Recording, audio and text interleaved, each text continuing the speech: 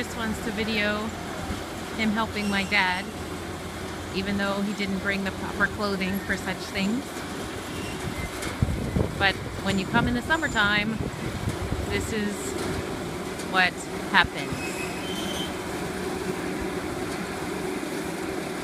Pretty exciting stuff, huh?